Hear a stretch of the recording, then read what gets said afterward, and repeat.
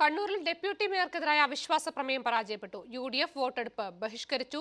വിഷ്ണുദത്ത് ചേരുന്ന വിവരങ്ങളുമായി Vishnu P K രാഗേഷിനോട് എതിർപ്പുള്ള ചില യു ഡി എഫ് അംഗങ്ങൾ ഈ പ്രമേയത്തെ പിന്തുണയ്ക്കുമെന്ന് എൽ ഡി എഫിന് ഒരു പ്രതീക്ഷയുണ്ടായിരുന്നു. പക്ഷേ ഏത് സാഹചര്യത്തിലാണ് യു ഡി എഫ് വോട്ടെടുപ്പ് ബഹിഷ്കരിച്ചത്?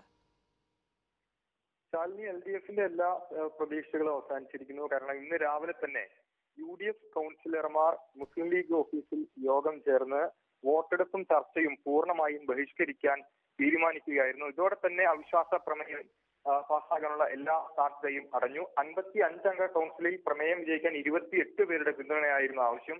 ഇരുപത്തി ആറ് പേരുടെ അംഗബലം മാത്രമാണ് ഇടതുമുന്നണിക്ക് ഉള്ളത്. പക്ഷേ പി കെ രാകേഷിനോട് എതിർപ്പുള്ള മുസ്ലിം ലീഗിലെയും കോൺഗ്രസിലെയും ചില അംഗങ്ങളുടെ പിന്തുണ എൽ ഡി എഫിന് കിട്ടുമെന്നായിരുന്നു അവരുടെ പ്രതീക്ഷ. പക്ഷേ യു ഡി എഫ് ഒന്നടങ്കം ഇത് ബഹിഷ്കരിക്കാൻ തീരുമാനിച്ചതോടെ ഈ സാധ്യത അടയുകയായിരുന്നു. കഴിഞ്ഞ മാസം പതിനേഴിനാണ് പി കെ രാഗേഷിന്റെ പിന്തുണയോടുകൂടി ഇടതുമുന്നണി യു ഡി എഫിന്റെ അവിശ്വാസ പ്രമേയം മേയർക്കെതിരായ യു ഡി എഫിന്റെ അവിശ്വാസ പ്രമേയം പാസ്സായതും ഇടതുമുന്നണിക്ക് ഭരണം നഷ്ടമായതും കോൺഗ്രസ് വിമതനായിരുന്ന പി കെ രാഗേഷിന്റെ പിന്തുണയോടെയാണ് ഇടതുമുന്നണി മൂന്നേ മുക്കാൽ വർഷം കോർപ്പറേഷൻ ഭരിച്ചത്.